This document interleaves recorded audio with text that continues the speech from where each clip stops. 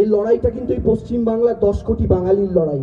তাই ওই গুজরাটি দুই ভাইয়ের পাপের সম্পত্তি নয় এই দেশটা। এই দেশটাই বাঙালির দেশ। যারা দেশটাকে স্বাধীন করেছিল, যাদের রক্ত রয়েছে এই দেশের স্বাধীনতায়, তাই দুই গুজরাটি ভাই যদি মনে করেন, এই বাংলা এসে দাঁড়িয়ে বলবেন, কাগজ দেখাও নাগরিকত্ব দেব।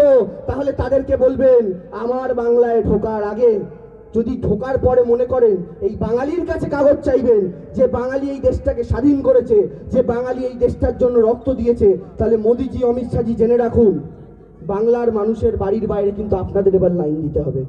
আপনারা মনে করে দেখুন না, চোদ্দ সালে এরা ক্ষমতায় এসছে, তারপর থেকে লাইনে দাঁড় করিয়ে করিয়ে হাফ মার্ডার করে দিয়েছে। নোটবন্দির লাইনে দাঁড়ালেন। মোদিজি কি বলল? সব কোটিপতিরা গলায় দড়ি দেবে, আর আপনারা যারা গরিবেরা আছেন সব বড়লোক হয়ে যাবেন। কিন্তু কি হলো? কোন কোটিপতিকে দেখেছেন? গলায় দড়ি দিতে বা দক্ষিণেশ্বর মন্দিরে ভিক্ষার বাটি নিয়ে বসতে? হয়নি। কিন্তু আপনারা দেখুন, যারা মধ্যবিত্ত ছিলেন তারা গরিব হয়ে গিয়েছেন, আর যারা গরিব ছিলেন তারা ভিকিরি হয়ে গিয়েছেন। হয়েছেন কিনা নিজেদের মানি ব্যাগটা খুলুন। দেখুন মানি ব্যাগের নোট নাই, ফড়ি মুড়ে বেড়াচ্ছে। নোট নাই। মোদি এই অবস্থা করে দিয়েছেন দেশটা। তখন লাইনে দাঁড়ালেন। আজ থেকে কয়েক মাস আগে মনে করুন ওই প্যানের সাথে ভোটার কার্ড লিঙ্ক ভোটার কার্ডের সাথে আধার কার্ড লিঙ্ক লাইনে দাঁড়িয়েছিলেন না সবাই? লাইনে দাঁড় করিয়েছিল।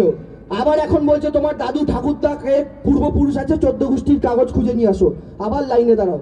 আমরা লাইনে দাঁড়াবো আর মোদিজি হেলিকপ্টার আর প্লেনে করে গিয়ে সারা বিশ্ব ঘুরে বেড়াবে। এটা হচ্ছে ওদের প্ল্যানিং সেই প্ল্যানিংটা ভেস্তে দেওয়ার কাজ আমাকে আপনাকে করতে হবে। আর সেটা দেশের মানুষ অলরেডি বুঝেছে। আপনারা দেখুন, ওদের এই হিন্দু মুসলিম কথার মানুষ খাচ্ছে না। মহারাষ্ট্রে বলেছিল মহারাষ্ট্রের মানুষ বলল, চাকরি চাই, কর্ম কর্ম চাই। মোদিজি বলল, কর্ম নাই, এই নাও ধর্ম। ওখানকার মানুষ বলল, ভাত চাই, ভাত। মোদিজি বলল, ভাত নাই, এই নাও জাত। মহারাষ্ট্রের মানুষ বলল, চাইলাম ভাত দিলে জাত, চাইলাম কর্ম দিলে ধর্ম। তাহলে বাবা, টাটা, বাই বাই। আর ভোট চাইতে এসো না, ওই মহারাষ্ট্রে বিজেপি হেরে গেছে।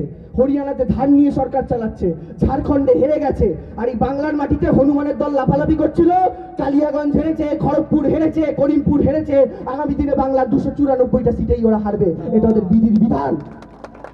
কারণ ভগবান, আল্লাহ, ঈশ্বর, যিশু, যার কথাই বলুন, আমাদের মহাভারতে গীতাতে পড়েছিলাম, শ্রীকৃষ্ণ বলেছিলেন, পাপের ঘোড়া যখন পূর্ণ হবে তখন কারণ নিস্তার নেই। আর এই ভারতবর্ষে মোদিজি আর অমিত শাহের পাপের ঘোড়া পূর্ণ হয়ে গেছে। আর সেই পাপের ঘোড়ার দিকে ঢিল ছুঁড়ে মারছেন আমাদের বাংলার মুখ্যমন্ত্রী মমতা বন্দ্যোপাধ্যায়। সুতরাং তাদের পতন অনিবার্য এবং সেই পতনটার জন্য দু হাজার চব্বিশ অব্দি অপেক্ষা করতে হবে বলে মনে হয় না। কারণ দেশের মানুষ নরেন্দ্র মোদীকে টেনে হিজড়ে তার গদি থেকে নামিয়ে দেবে। সেই দিনটা খুব সামনে আসছে। তাই ভোটের অপেক্ষাও করতে হবে বলে আমার মনে হয়।